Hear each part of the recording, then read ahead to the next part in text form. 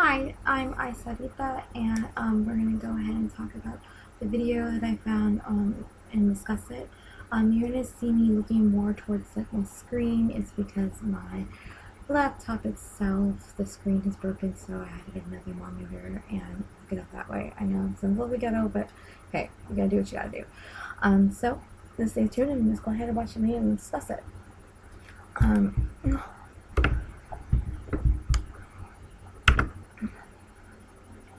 The one we're talking about is Yuri Solid Above um, from my blog. If you haven't, check out I studied this blog. Um, it's called Ancient Ancient Theology.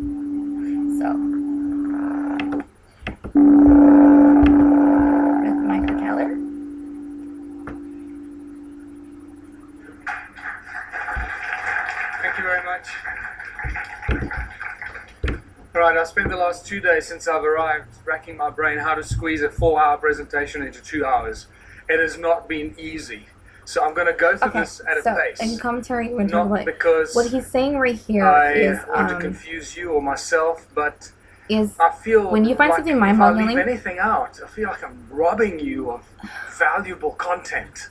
And you know, what do you leave out of something that's a work in progress that started out, you know, eight years ago with a small little presentation and now consists Wait, what he's talking about right here is um, he wants to the audience here to fully grasp and understand that um, he didn't mean to stumble what he found and what he was researching, because he's actually a, a scientist to go ahead and look for it his information. Um, but he wanted the audience to really comprehend that what he started was researching became together, putting together, and this is what he found. And he was only trying to get your attention on to jumble a whole bunch of information and to take it down and try to condense it to a two hour period. Even though that still consists is very long, he just wanted to go ahead and at least try. of volumes and volumes of of research and discovery that is I for one certainly did not expect to happen to me. So let's kick off. Um, the history of our planet is far more mysterious and stranger than most of us will ever realize. And just by talking to the people here, it becomes very evident. The more people you talk to at this conference, the more evident it becomes.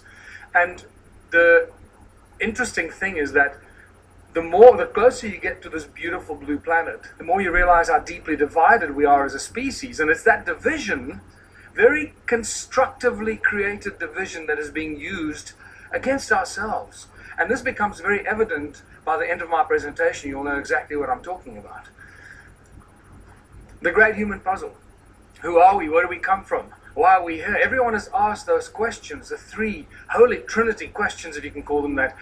That sounds so simple. We should have all these answers at our fingertips, and yet we can't, you know, define these answers with any kind of confidence because every time we think we've reached some sort of answer, everything shifts and changes. It's true. It sends in Yeah, and completely it's the truth different always direction. to change. The discoveries And or things uh, you find I normally have a lot more slides here to go into much more detail, but I edited those out. Sound and resonance seem to be the common denominators of religion and creation. No matter how far back you go, no matter how many civilizations you look at, eventually, if you scratch deep enough, that's what you're going to find. Sound, resonance, frequency, but pri- primordially the sound. And it also somehow connects us to opening us to understanding higher levels of consciousness. And that becomes very important as we go through this presentation. In Christianity, it's the word. God said, let there be light. Okay, let's not get into the semantics. Yes, that we can define that in very various ways, but let's look at the basic stuff that we're dealing with here. The word. Okay, when he means don't look at semantics, he means don't get into everyone's belief of they believe or not. Let's just go by the, the pure facts and the information of it all. Like the information that we have for full and full facts as it's written, as it's proposed, and how is it placed, regardless what religion he puts it on there. Um, facts. You know, I mean proof of evidence. Anything can be bullshitted left or right. No offense, but when it comes to actual hard fun facts, you know what I mean. These are the things you wanted to look at and get into and be realizing why do they have this consistent pattern. That's what you want to start your research doing. First, there was the word. In Hinduism, we got the Om, the primordial creative source. The Egyptians sang the universe into creation. All comes to sound. And it gets more interesting as you get look at some of the more bizarre and ancient cultures. And you can see this how these days of creation and the creation, the sound of creation is manifested in some of the symbology used in sacred geometry. For example, Christianity can be very quickly described with sacred geometric principles. And you realize that the creator of the universe is not some guy with a white beard sitting on a cloud. You know, that what he's talking about, um, those who are not religious, mean, mathematics is actually can be can define, figure out so many things in equations, even the consistence or non-existence of Jesus Christ, or God, anyone Almighty, or a higher being, or whatever you want to call it. The point of the matter is you can, with math, figure out the jitter points and the sound frequencies. What he's talking about resonance when he says um, sound resonance think of you know like solar light things the speed of light there's no there's a certain type of levels that we can't see and a certain kind of um rate like like a radiology like rad- radiance that you know you, can't really see in around the world we're only humans are only short to see only a certain sort of base of it but there's still a long grass base of it when you look in science about even things we can't even see towards the eye but you know you can also hear what works the sound so that's what he's grasping up a little bit in here. Okay. That's just complete fairy tale stuff and very distinct part of the control system of humanity. That division principle plays itself out in that philosophy. Six aspects of Om, or the Om Mani Padme Hum. You, sound, you see sound frequencies related to the creation process. And in, uh, in Egyptology, the six aspects of the all-seeing eye of Horus. And when you see this, you realize that we're dealing with sound, six resonance ratios, all to do with sound frequencies. So sound plays a very important role, and one of the lesser known statements or thought patterns of Nikola Tesla that a lot of people seem to miss is that te- um, Nikola Tesla said that the earth rings like a bell. It's continuously ringing like a bell. And if you know how to use this primordial source sound frequency of Mother Earth, you'll know how to convert it into an unlimited source of energy. And I believe that's what he really did. What he did with it up at the top of the tower remains a mystery to most of us, and we all try to emulate that. But I believe that he was talking about the sound of Gaia, an unlimited, free source of energy. Yeah. All right. It has been proven that the speed of light, even though how quickly and fast for sound moving, it's still a frequency. But uh, what a frequency that is faster than that, believe it or not, is sound. Sound is a frequency that it is faster than the speed of light. And there's been proof of evidence that you'll see in, in the video that when he's talking about there are certain pitches or noise that make an object move, what other would consider magic. But he's saying that that's the type of energy like it has to do with the um, principle with um, the saying that goes an object in motion will stay in motion unless it's interrupted by outside force same thing with the principle of an object in rest will stay in rest you know mean until moved by an outside force. That's all quickly with the simple notion of sound. And that's what he means by sound resonate And this plays a very important part in all of creation, in all ancient cultures, in all the belief systems. And I believe Tesla used this to do whatever he did to create this free energy that we all try to, to emulate. But what is sound? What is sound? Because we think that sound is just something that travels at a finite uh, speed. Well, that's been busted now because in Tennessee, uh, you studied at, at, in Tennessee, didn't you, Brooks? Uh, at the Middle State Tennessee University in 2005, there were three high school students and two undergraduates that proved that sound travels beyond the speed of light. I'm not going to go into that, but that's an interesting thing to contemplate. That's one of the best kept secrets of science and physics. Never made it into the mainstream news bulletins. Sound boils water. This is a guy called Peter Davey in New Zealand. Since 1940, this guy's been boiling water with sound, sound frequency. It's not complicated because everything has a resonance. Everything in the creation and in physical form has its own fundamental resonant frequencies. If we understand the resonance and the sound behind the resonance, we can do everything. Because if sound created the universe and all things in it, because that was done by God, then we should be able to use sound to do everything else. Okay, what he's talking about, everything in, in life has a cause and effect. And simply put, it's just, it is. The same thing as you put that everything has a formula. If you do it one way or this way, it can actually be done. Why not in the same frequency of sound itself?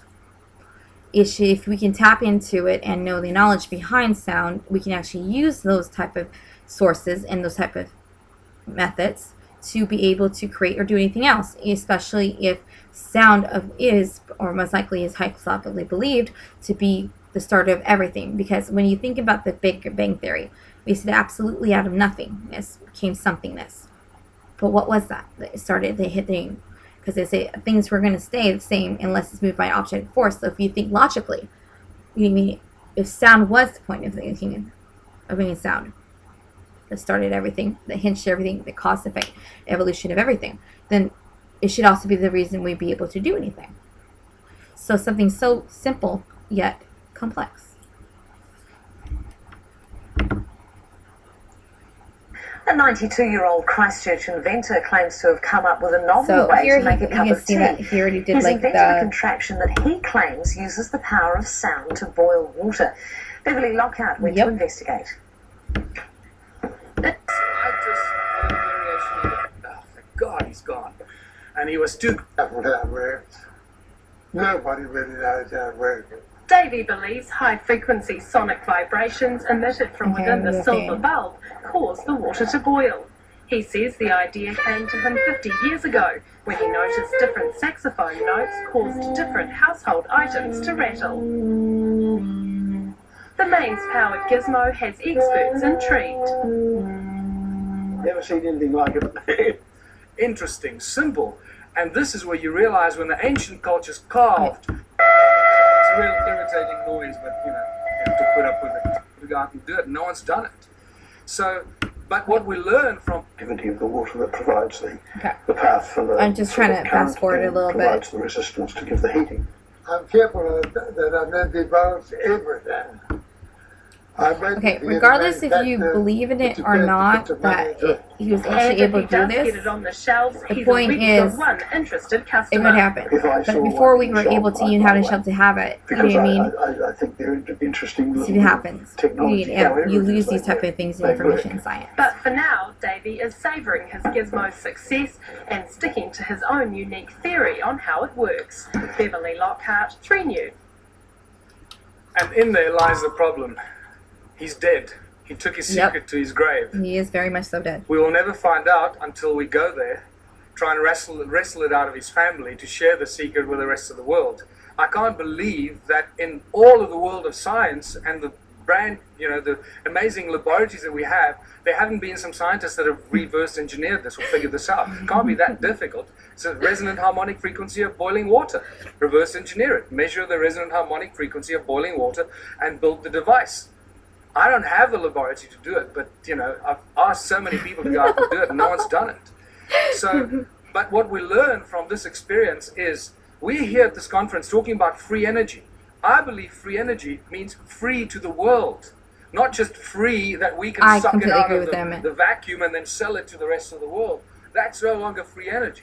I believe it's crucial that we start thinking about free energy as when you find it, like this guy, give it to the world for free. Because if you don't, they're going to get to you, they're going to get rid of you, and no one's going to get it.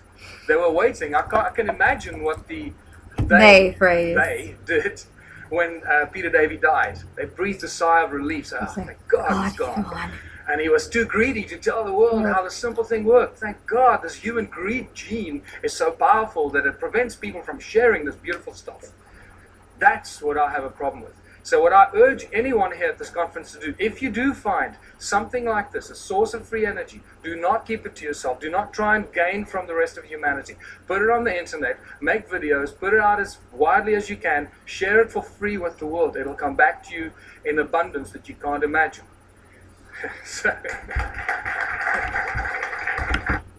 And let me comment on that now. It is very, very, very, so very, very true.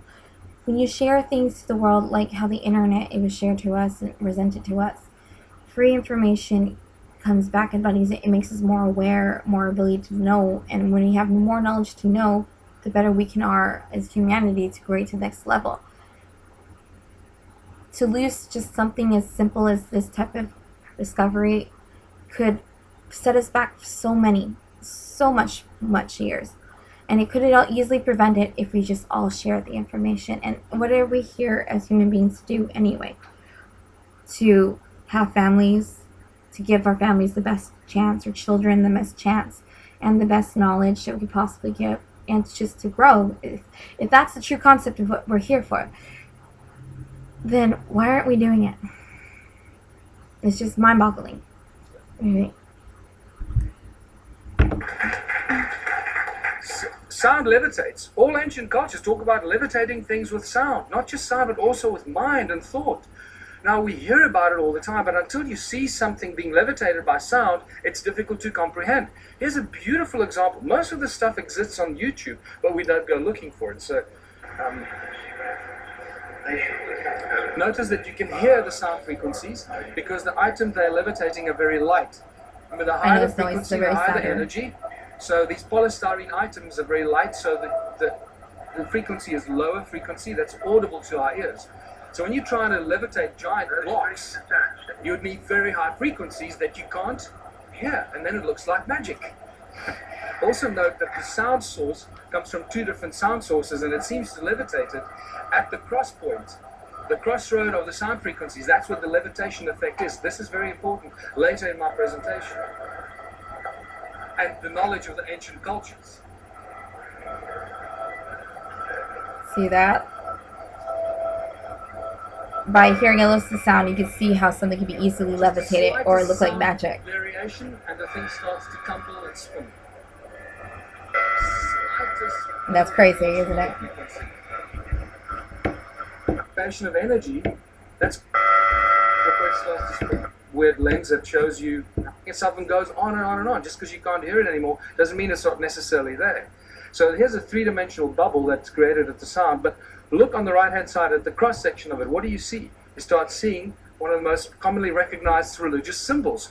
Why did the religions... Okay, we're going to go a little bit further here. Let's see. He does the sound thing. Because that made me realize that we're dealing with something very special since I first started going there and taking psychics and connected people, liberation movement, I'm going through it now. Just hold, hold on, it happens. And this is my message to everyone in the world.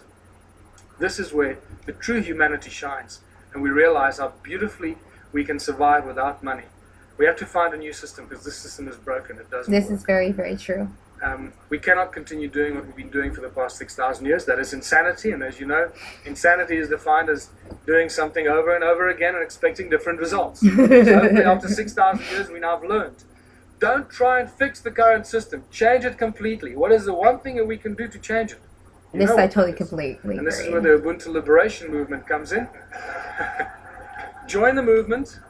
Realize it's a movement about higher consciousness. It's about it's about breaking all the norms that we've been conditioned to believe, standing up to authority. Nine and a half, 77 degrees. But then, we days. Did you know that in 1980, 80, in the mid 80s, four of the North American uh, native tribes came to South Africa to meet with Credo Mutwa and some of the African shaman because they believe that the new age will rise out of South Africa. Restrictions on humanity are endless and they're getting worse by the day. The current situation is very simple. Every social political system has failed us. This is why we're in this mess. Otherwise, we wouldn't be talking about this stuff, right? If it was hunky dory. Humans everywhere live in misery. There seems to be no happy outcome to the political and economic mess of the planet. Every year, every month, it gets worse. More poverty, more hunger, more homelessness, more misery. The global economic collapse is imminent. The fact that we still have a global economic system is actually miraculous, but it is a clear indication how powerful those individuals are that control the global economy. They have infinite power as it is now. Only us, only we can do something about it. And there's some simple things that we can do about it to change everything about it. Okay.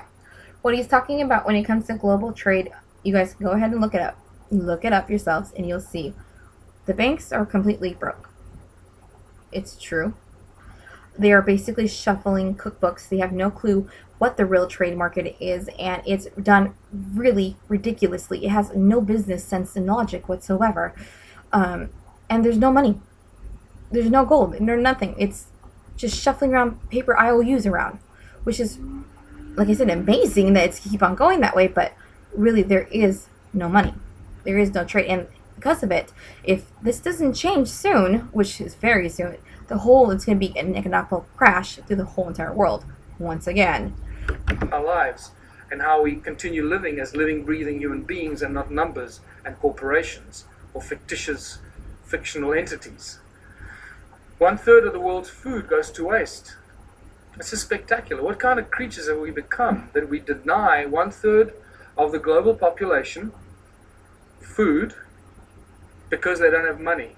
We don't give, we don't hand it out. We dump it. We destroy it because we can't give it to them for free. They need money. They need to work. Lazy Poor- bastards. Do some work. Go get a job. Become That's a horrible. respectable member of society. Get a job. We don't need jobs. Nope. It's the last thing we need. Every time I hear politicians say, we're going to create jobs, I sense shivers down my spine. It's the last thing we need. Busyness. Keep you busy running around forgetting what you should be doing, what kind of life you should be living. It's all encoded in the language that we use. How did it get so bad? This is where we get back to what we've just been to the ancient civilizations. A small group of royal political families and the banking elite families took control of the world.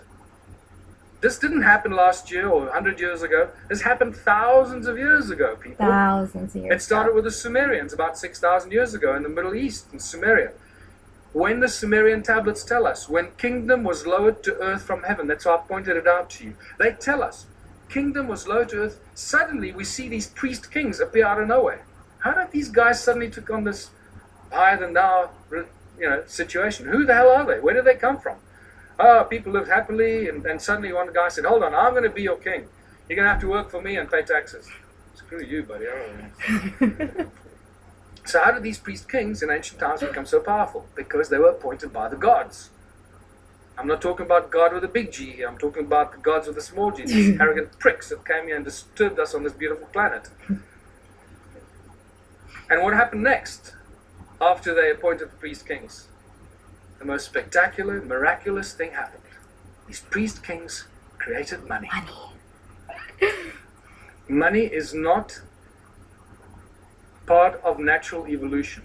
This is a complete misunderstanding of human history. Anyone that teaches you that has not done their homework.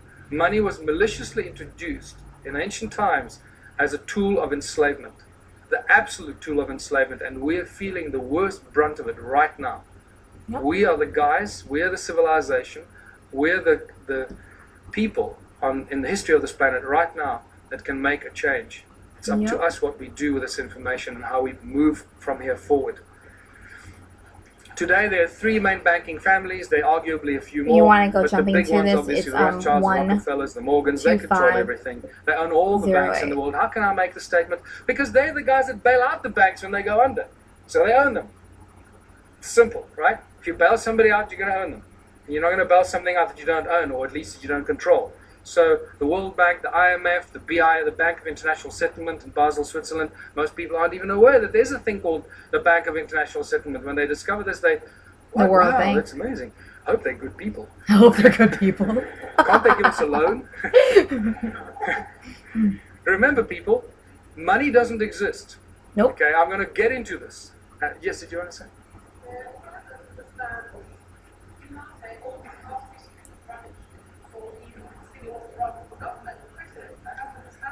Okay. No, no, no, no, I don't, no, no. No, no, no, you, you're getting the wrong end of the stick.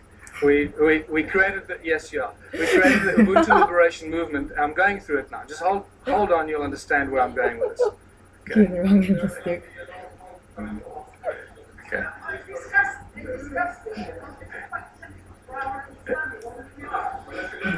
Yeah. Okay. Now,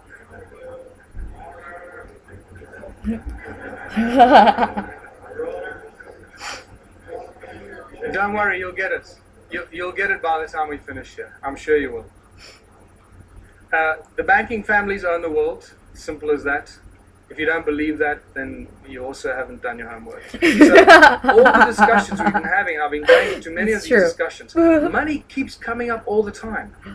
But remember, money doesn't exist.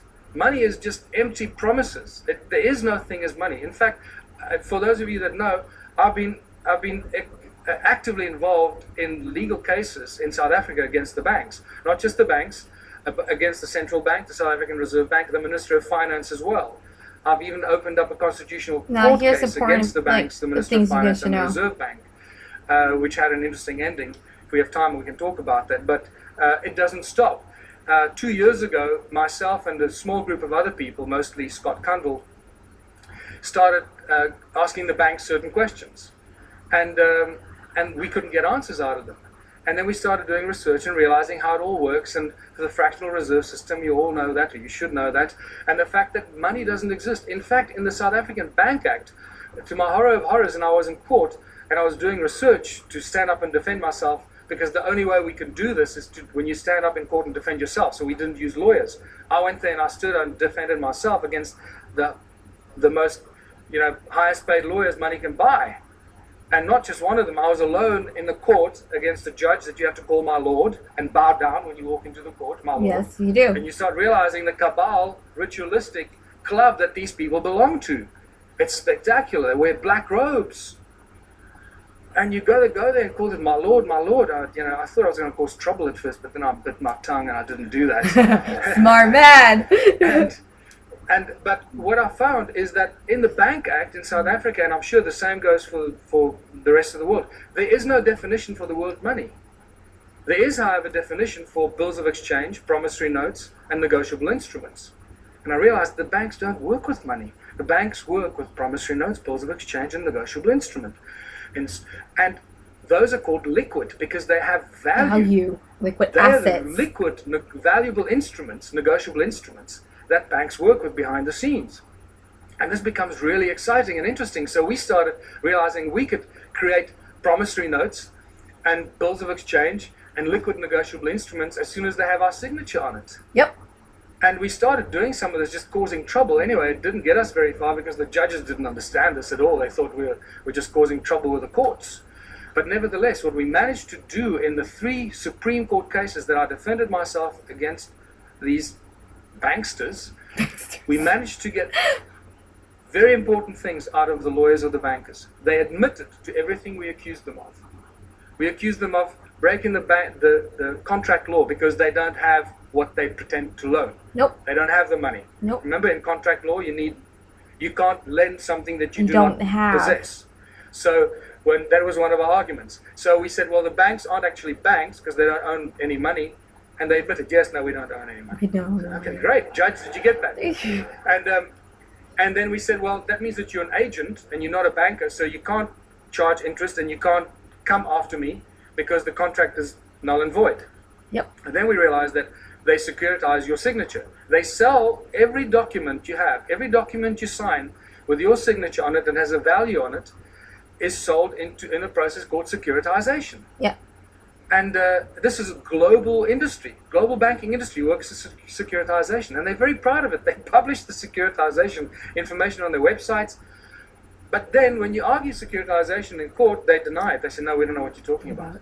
No, and the judges don't go and do their homework because the judges are so blinded by the banks and the lawyers. They just follow. They just can't imagine that the banks could be lying. so they they agree that they practice securitization. Or first of all, they they they denied that that there is anything called securitization. They accused us of being fanciful and and making things up. and um, that they the method of denial, denial, and we bullshit them of not and having try- locus twisting standi or any rights to start the action against you because they sell your documents and your contract to a third party called a special purpose vehicle. And that special purpose vehicle company is a third party that takes complete ownership of your property, your car, your credit card debt, your overdraft. Everything is securitized by the banks because they don't have money. That's how they make money for themselves. It's all shuffling paper and bookkeeping entries mm-hmm. and selling empty promises. And this is how junk bonds are created because once you haven't paid on your bond, three months after you haven't paid on your home loan, your bond, uh, that goes stale. The, what the, the security, the SPV uh, does, they then claim insurance on it and they, they file it. So the SPV gets paid, the bank is being paid the moment they sell your signature to them. Everyone's being paid, but you keep paying for your home loan for the next 30 years. The moment you stop paying, the bank comes after you, says you owe us money. There's a contract, my lord. See, he signed a contract, he owes us money. And the judge doesn't for one second say, well, hold on, let's look at the validity of this contract. Do you have rights to this contract? Who owns the property? So this has now been exposed. We are this close in South Africa. Myself and Scott Cundall from New Economics Rights Alliance, we're this close from bringing down the banks. This close. So, Bravo. because they're just lying thieves. What you're talking, what you're talking about, the global banking industry, people, is nothing more than the largest legalized organized crime syndicate. Yep. That's what it is. So they're a bunch of criminals. We've got to do something about it to stop it. So I've got a, I've got a, I've got two cases against the banks now. One of five counts of fraud, uh, which they don't, they haven't argued any of the points. They've argued why I'm, why I'm claiming all the money. Why am I claiming all the money? They're not arguing any of the points. And Scott Cundall has got a case with the New Eco- Economics Rights Alliance, which has become the third largest non-profit organization in South Africa in the last six months, about 160,000 members. Now, here's Um, the key right here. he's- Um, he's one lodged three a three case ten. of- How to of to unconstitutionality disable the constitutionality of being banks We're and things of about to launch criminal charges against the banks, full-blown criminal charges, because the evidence is just becoming overwhelming. And all it's going to take now, one judgment. If there are any mathematicians here, you can see the complete insaneness of this. Out of thousands and thousands and thousands of court cases, people against banks, not one person has ever won a case against the banks. Just think about that. Clearly, this is stacked in favor of the banks. Heck yes. Clearly. And the judges are either paid off or they're too stupid to understand what's going on. But things have changed. We have a few situations in South Africa. We've had small victories where the banks withdrew. This is how clever they are. They withdraw before they get a judgment or they abandon. Yep. So there isn't a precedent on the record. So you can't then go and argue the precedent. So they're very clever with this. But we're going to force them into a judgment because of what we're doing. And um, it's just going to take that first judgment and then it's all over. The entire global banking system works on the same principles. And it's just going to be a domino effect. And we'll do what Iceland did, hopefully. Just reverse all the mortgage loans, reverse all the car loans, credit card, just, you know, just reverse everything because these thugs have stolen trillions from us and make us their slaves. And that's exactly what they do. And this is linked to our education system because Yep. most people are indoctrinated into this way of thinking since That's okay. What he's going to, and the reason how it led us to Remius is through ignorance. So, is his ignorance truly blissful? That's the whole irony of everything. Our education system is the key thing that lets us know what's going on and how to read to understand these political, political, and even business world ethic terminologies that they want to speak in a different term language, even scientifically different language lingo because they want to sound all fancy and maybe not talking to a normal type of person. But if you don't understand that lingo, then how are you going to know what's going to be ripped around your eyes? You wouldn't. So that's why it's very, very essential and very, very important to have education and not to let anyone harm or damage or stop your education and not to let it be funded or hold it by the government. No. Education can never be holded by the government because they can try to put ways on it. No. I think we, the people, as the people, should always hold our own education and have it in our own priority, even within our own states, down to our own cities. Education should never be federal. It should just be state by state of everything, and that's my belief. Childhood.